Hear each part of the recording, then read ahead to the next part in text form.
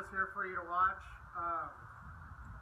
From last night, uh, the first set went pretty good. I uh, made a single uh, interrogation howl, female, and uh, called that that big group of coyotes in that you'll see on the uh, first video.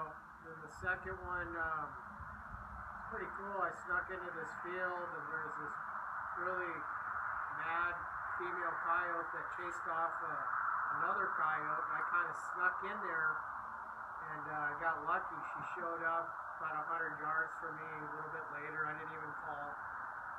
And uh, the next one, uh, I was coming into a spot, and sure enough, that coyote was just sitting there, and uh, got a little excited, missed the first couple shots, and hit it on the run. But anyways, I hope you guys enjoy the video.